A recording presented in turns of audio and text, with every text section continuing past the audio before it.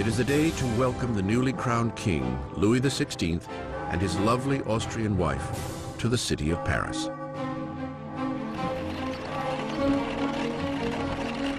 And at the head of the welcome party is a promising young law student, Maximilien Robespierre.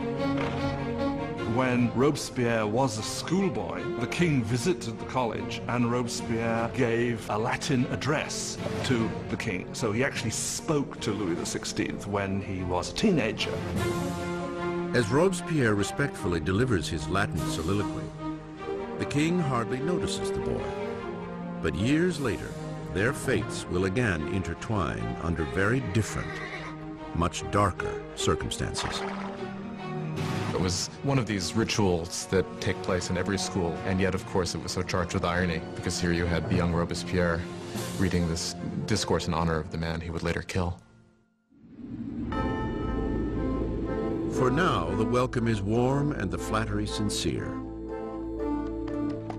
The visit from the royals may have won the hearts of the people, but their minds are leaning increasingly in an entirely different direction. Since the Middle Ages, European society had been broken into three distinct classes, dictated by birth. There was a great divide between the wealth of the nobility and the clergy and the poverty of the peasants. Then, at the blossoming of the 18th century, reason and science began to challenge this age-old tradition. Swept up on a current of innovation and new literature, Paris now radiates as the philosophical center of the world.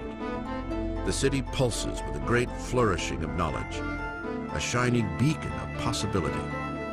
It is the age of enlightenment.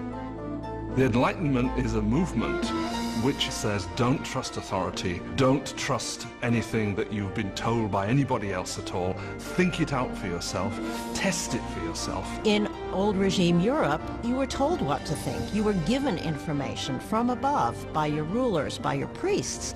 And so the idea that you could map out all of human knowledge and then have access to it was revolutionary. In elite salons across Paris, aristocrats gather to discuss Enlightenment authors and the burgeoning age of reason. Voltaire, Rousseau, fresh voices who champion liberty, control of one's own destiny, and above all, equality.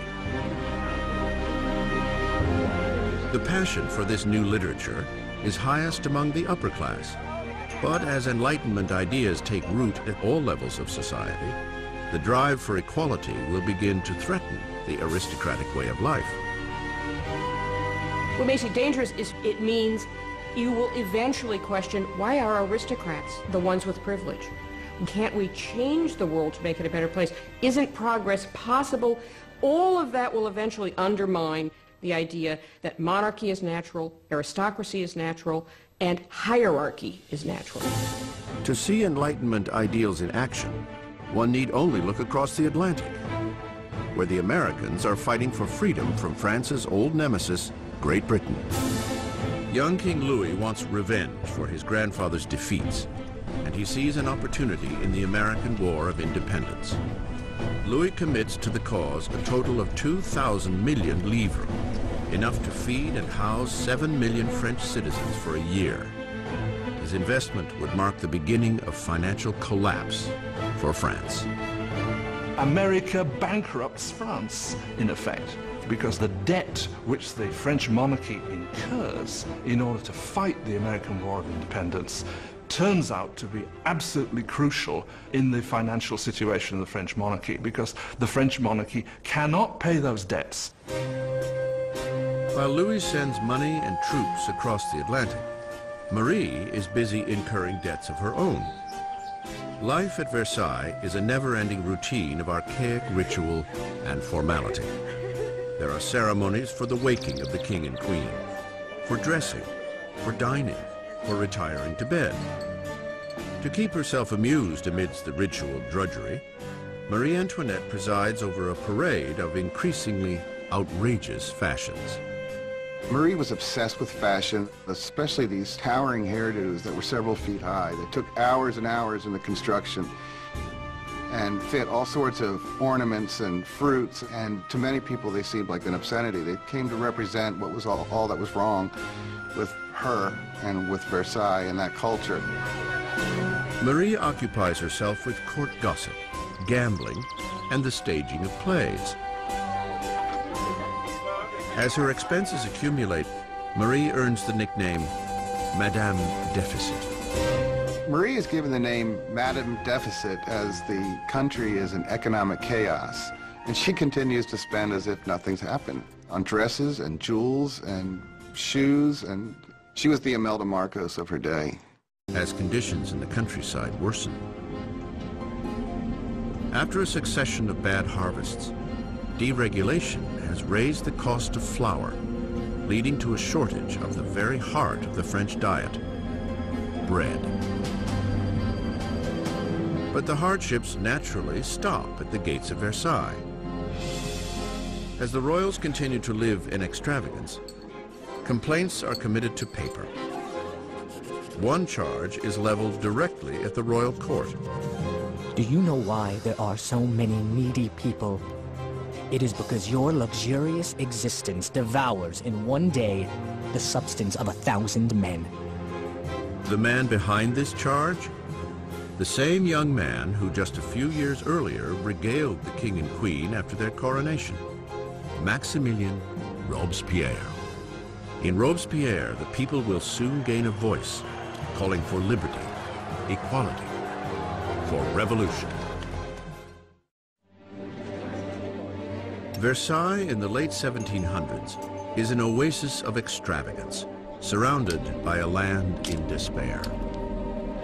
And with an uncertain king at the helm, France is charting a course for disaster. After 19 years of marriage, Louis has sired four children. Yet as a king, he remains impotent. In an attempt to demonstrate leadership, Louis dabbles in financial reforms. But his misguided interfering burdens the poor with heavy taxes, while the nobility pay hardly at all. With the economy in ruins and the people restless, it seems as if even the heavens are angry, smiting France with the most bitterly cold winter in 90 years. If ever God intervened to make a situation worse, the summer of 1788 and the spring of 1789 is a moment when that happens. By the summer of 1788, you already have a burgeoning political crisis, and it's developing against a background of very serious food shortage. For the people of France in the 18th century, flour is the essence of life itself. Bread, the measure of existence. Most ordinary people in France ate at least two pounds a day of bread. Bread was all important. Its price was immediately felt by everyone. If the price doubled, you were in big trouble. Under Louis's financial mismanagement, the cost of flour skyrockets. Sparse food supplies are hoarded. The cost of a loaf of bread soon equals a month's earnings. Hunger turns to rage. Riots break out across France. Homes are robbed. Bakeries are raided. And shopkeepers suspected of stockpiling bread are lynched on the spot.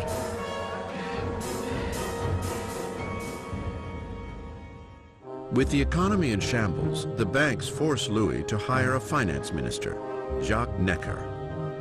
An enlightened thinker, Necker is popular with the people in a way that Louis can only envy. Jacques Necker was undoubtedly the most popular minister throughout the spring of 89 because he's taken the line publicly in his writings that the government's duty is to make sure that there is enough bread and grain for everybody. The nation in fiscal crisis, Necker urges Louis to call a meeting of the traditional representative body of the kingdom, the Estates General. It is the first time the representatives have been called together in 175 years. France was politically organized in something called the Estates. The first estate was the clergy, the second estate was the nobility, and the third estate was everyone else.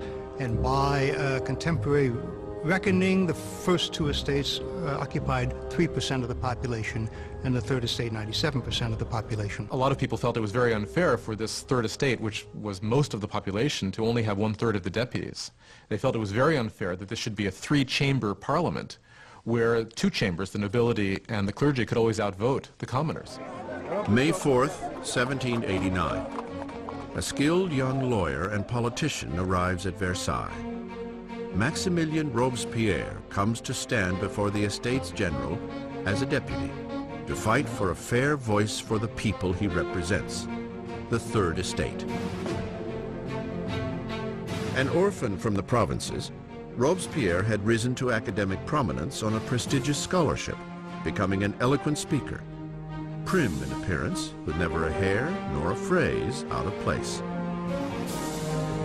Back home in the small town of Arras, the Enlightenment ideas he had absorbed in the salons of Paris found a powerful voice as he became a hometown lawyer for the downtrodden.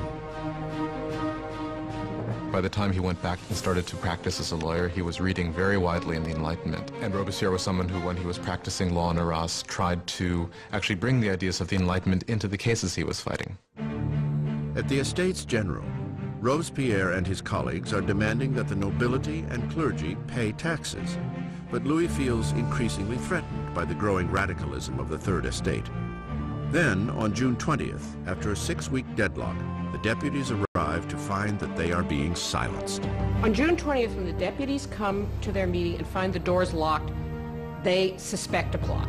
They move next door to what we call a tennis court, which was really a handball court, and gather together and swear they will not stop meeting until they have a new constitution. The deputies declare themselves a new National Assembly, the true representatives of the people of France.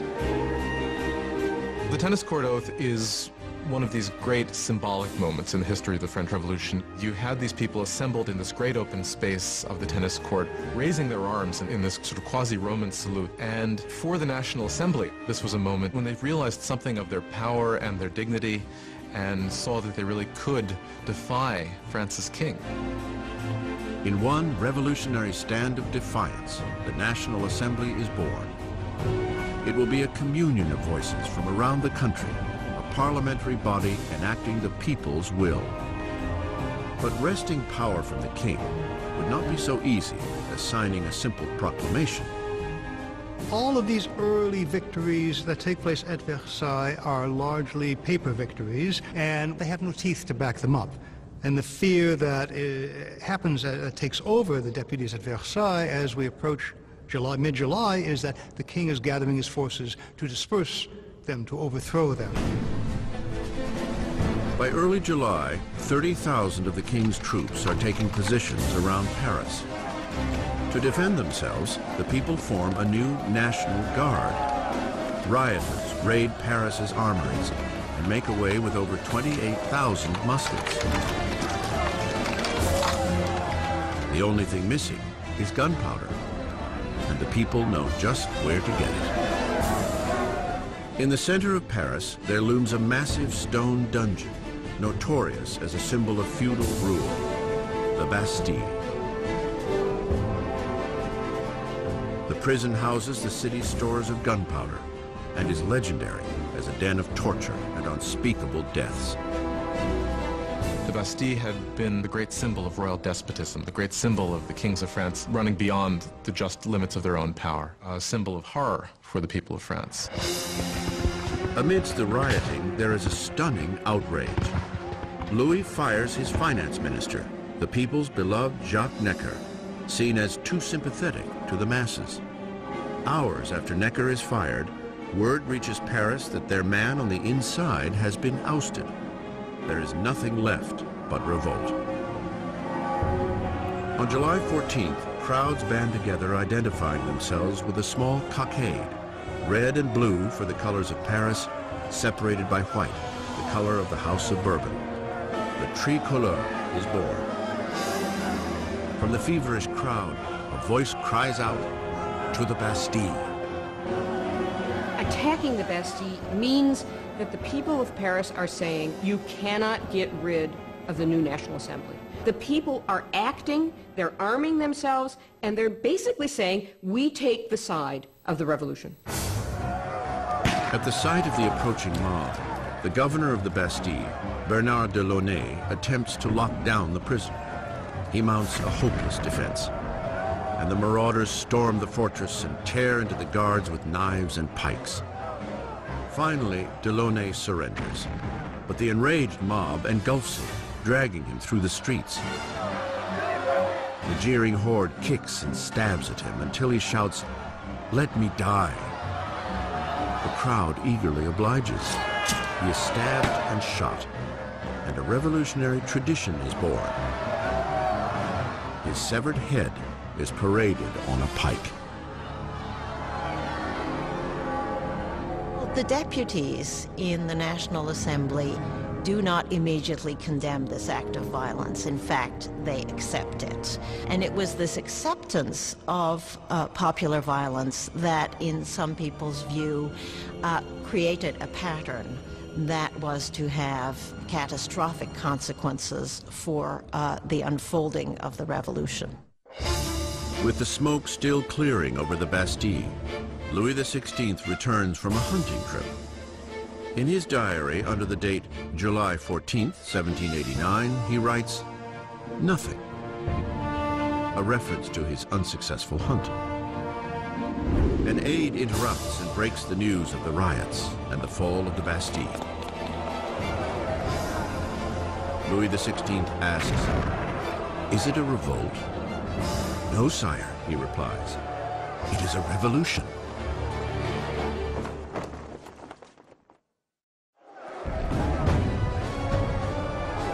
Victory at the Bastille unleashes the irrepressible torrent of revolution. The people had defied their king and won. There would be no turning back. As a symbol of the defeat of tyranny, the people, men, women, and children, dig in with bare hands and tear the Bastille apart, brick by feudal brick. They are beginning to dismantle the past itself. The French went about the process of tearing down the Bastille as quickly as they could. In the absence of powerful explosives, this was done very painstakingly, but with a tremendous amount of vigor. And the bricks were given away, sold as emblems of the demolition of despotism. The energy of the streets invigorates the National Assembly. A charter is penned within days called the Declaration of the Rights of Man. Under this daring new document, archaic class distinctions are to be abolished and all men considered truly equal. The Declaration of the Rights of Man was a declaration promulgated by the National Assembly which said in its text that the sovereignty belongs to the people, belongs to the nation. The king is nowhere mentioned in this document. Therefore, by issuing this document, the Assembly was effectively seizing power for itself. With the new National Assembly as their voice, the citizens of France set out to change the very fabric of their world. They demand a constitutional monarchy, equal rights for all men, and justice under reasonable laws. To provide a greater voice for the call of revolution, Robespierre demands increased freedom for the press, long muzzled under the old regime. The resulting free press is spearheaded by L'Ami du Peuple, the people's friend, a fiery newspaper full of vitriolic rants and provocation. It is the brainchild of a former doctor, Jean-Paul Marat. After a string of unsuccessful careers, Marat found himself living in poverty, for a time finding shelter in the sewers of Paris. It was there he contracted a painful skin disease that now leaves him confined for long periods to a medicinal bath. A bitter and failed Marat finds in the revolution the perfect outlet for his venom. Jean-Paul Marat was just one of these professional malcontents. And unfortunately, revolutions do offer opportunity to professional malcontents. Marat took all of that bile, all of that resentment, and funneled it into a newspaper that became extraordinarily successful, L'Ami du Peuple.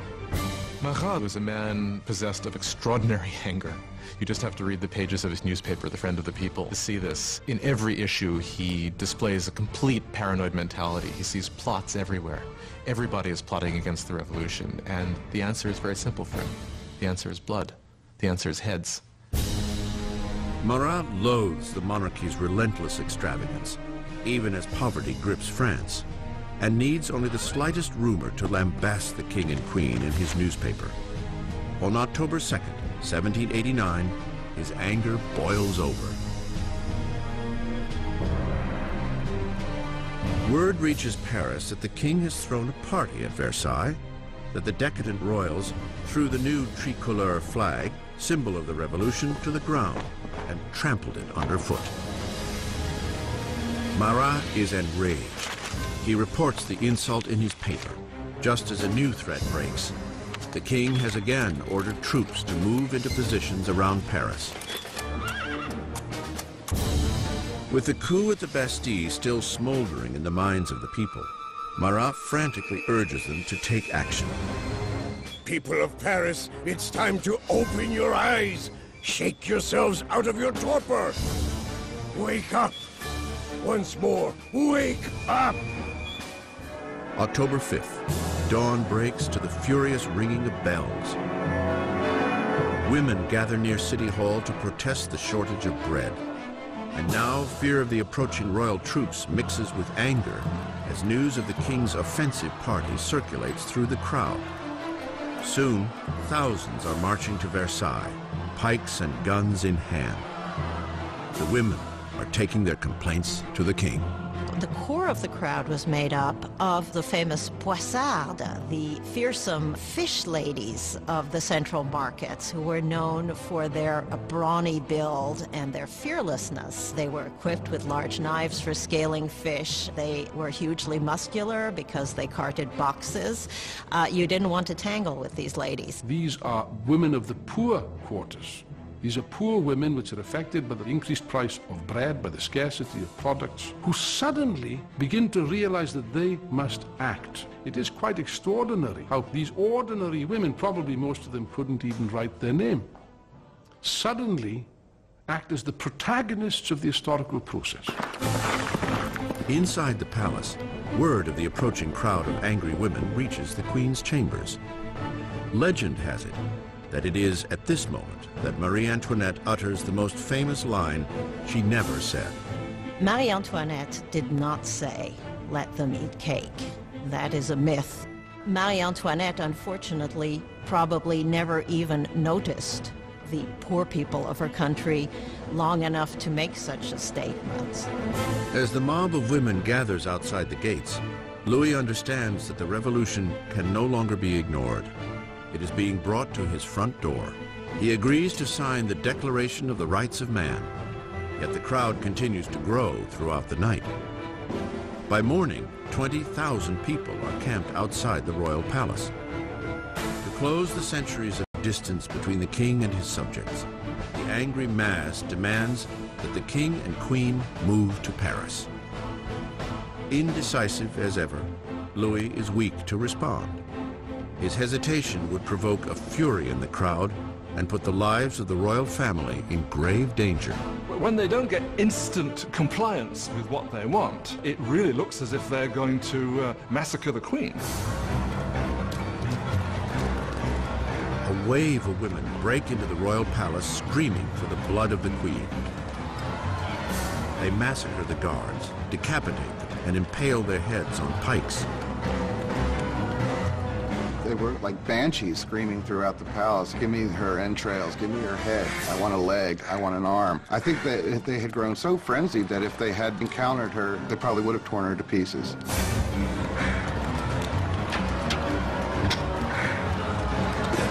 Terrified for her life, Marie escapes to Louis's apartments only moments before the women break into her chambers and tear her bed to shreds. King and queen are now at the mercy of the mob. And what the mob wants is a little attention from their king. The only way the women can be pacified is for the royal family to agree to go to Paris. Because once they're there in Paris, then they can ultimately be made to do what the people of Paris want. They march 60,000 strong, leaving Versailles with carts and wagons overflowing with flour from the king's storehouses, flanking the royal carriage all the way to Paris. Le roi et la reine ont été the king and queen were forced to go back to Paris with the heads of their guards, who had been massacred in the chateau. Qui avaient été massacrés dans le château. Their heads had been cut off. This is really a completely unbridled violence. Dans the heads were then made up with makeup and paraded at the head of the cortege, with the king and queen following. Devant la voiture du roi et la reine. The king and queen must make their new home in the Tuileries Palace. They will never see Versailles again. Once the royal family moves to Paris, they are the prisoners of Paris. They know it. Everybody else knows it. There are great limits to what they can do or even dream of doing. They are the prisoners of the capital city, there's no doubt. Versailles is abandoned, and the assembly moves to Paris. Power is now with the people. France will have democracy, new laws, and a remarkable and unforgiving form of justice will make its debut on the revolutionary stage, the guillotine.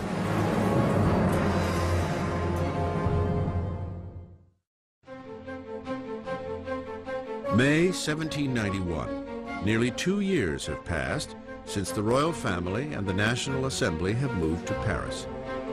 Robespierre appears frequently at the Assembly and at the Jacobin Club, a debating society named for the former Jacobin monastery where they gather. Now, words are the very core of the revolution, and Robespierre speaks with an unfailing moral compass. His true north is always the people. He soon earns the nickname, the Incorruptible. France is now a constitutional monarchy, the king forced to share power with the revolutionaries in the assembly. But it seems Louis's share is growing smaller by the day, as he is forced to sign law after law diminishing his own authority, and that of the other great feudal regime, the Catholic Church. Louis decides the time has come to escape the confines of the new republic and mount a campaign to reclaim his kingdom. Louis had decided by 1791 that he needed to regain control of his country, and he knew he could only do that with the help of a foreign army. So the idea was to make a break uh, from the Tuileries Palace and to head for the nearest border. June 21st, 1791. The king and queen disguise themselves as servants and by cover of darkness slip out from under the watchful eye of Paris. They make an ill-planned run for freedom. It is long past midnight when the royal family arrives in the small town of Varennes, some 100 miles east of Paris. They are close to the border of Austria, safety just a few miles away. But their dash to freedom will go no further.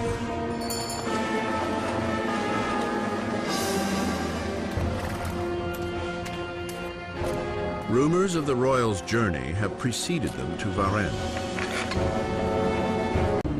The bloodshed has only just begun.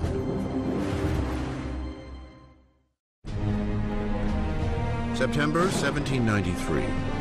Four years into the revolution, and France is being torn apart. There is violent insurrection in the provinces, and huge losses in the faltering war against Europe.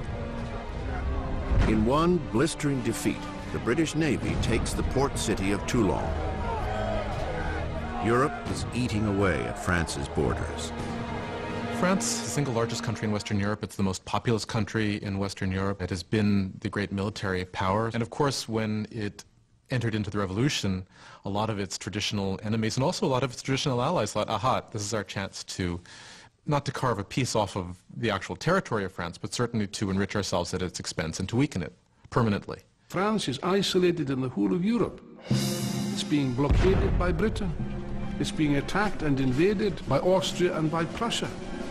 The people of Paris are seized by a fear that the victory of the counter-revolution will lead to a bloodbath. Danton and Robespierre, the star orators of the convention, realized that they must boldly strike out to save the revolution. They convinced their colleagues to institute a menacing new form of martial law. It is time for all Frenchmen to enjoy sacred equality. It is time to impose this equality by signal acts of justice upon traitors and conspirators. Make terror the order of the day. Thus begins a new chapter in the revolution, a period of violent repression called the Terror. In a remarkable reversal, the revolutionaries suspend the new constitution and all the rights it was to guarantee. Police spies scatter throughout the country. Anyone suspected of counter-revolutionary activity is rounded up, quickly tried, and sent to the national razor. The Reign of Terror was conceived as an emergency government. What they understood by terror was striking terror into the hearts of the enemies of the Republic so that they would be either scared straight, as it were, or um, arrested and disposed of. The slightest suspicion can send anyone to the scaffold. Politicians who say a kind word of the defunct monarchy. Anyone who uses the formal monsieur or madame instead of the new form of address, citizen. The air is fraught with paranoia. Neighbors denounce neighbors. The incessant rolling of the death carts rattles through the streets of Paris. Execution is absolutely hanging over people's heads in the sense that we know in Paris there are police spies, and there are quite a few police spies everywhere, standing in bread lines, listening to what the women are saying, and turning them in if they don't like what they hear. You could be turned in not just for complaining about the high price of bread, but you could be turned in supposedly even for not being enthusiastic enough about where things were going and the successes of the revolution. So just about anything that would stand out for commentary could get you into trouble. The convention sets up a revolutionary tribunal, expediting trials and executions with ruthless efficiency. To consolidate power, they form a 12-man council and call it the Committee of Public Safety. Ultimately, power had to be delegated to a smaller group, and that group became the Committee, for Public, uh, Committee of Public Safety. Ultimately, it became 12 people who really ruled France as a kind of collective dictatorship. With his masterful words and revolutionary vision, Robespierre soon emerges as the committee's fiercest guiding voice. And that voice is calling for more blood. One of the paradoxes in Robespierre's political life is that he very early on is a passionate opponent of the death penalty. And of course, this is thrown back in his face later when he becomes an equally passionate proponent of terror and the guillotine. He is, he never particularly responds to that except to say, well, times have changed. The revolution has hardened Robespierre. Once an impassioned supporter of a free press, he now reinstates censorship, a vestige of the old regime.